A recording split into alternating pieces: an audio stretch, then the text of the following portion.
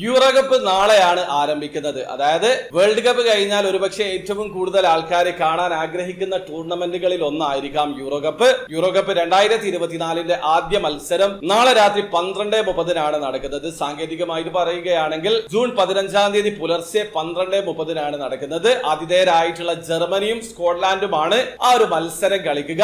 അപ്പൊ ഈ ഒരു ജൂൺ മാസം ഫുട്ബോൾ ആരാധകർക്ക് ആഘോഷരാവ് തന്നെയാണ്. യൂറോ കപ്പ് നാളെ സ്റ്റാർട്ട് ചെയ്യാണ്. അതിനുശേഷം കോപ്പ അമേരിക്ക ആരംഭിക്കുന്നുണ്ട്. അത് മാത്രമല്ല ക്രിക്കറ്റ് ഇഷ്ടപ്പെടുന്ന ആൾക്കാർക്ക് ട്വന്റി ട്വന്റി വേൾഡ് കപ്പ് കൂടി നടക്കുന്നുണ്ട്. അപ്പൊ ഉദ്ഘാടന മത്സരത്തിൽ ജർമ്മനിയും സ്കോട്ട്ലാൻഡുമാണ് മത്സരിക്കുന്നത്. ഇതുവരെ ഇവർ തമ്മിൽ ഏറ്റുമുട്ടിയിട്ടുള്ള കണക്ക് നോക്കുകയാണെങ്കിൽ ആകെ പതിനേഴ് മത്സരങ്ങൾ കളിച്ചിട്ടുണ്ട്. എട്ട് തവണ ജർമ്മനി വിജയിച്ചു നാല് തവണ സ്കോട്ട്ലാൻഡ് ആണ് വിജയിച്ചിട്ടുള്ളത്.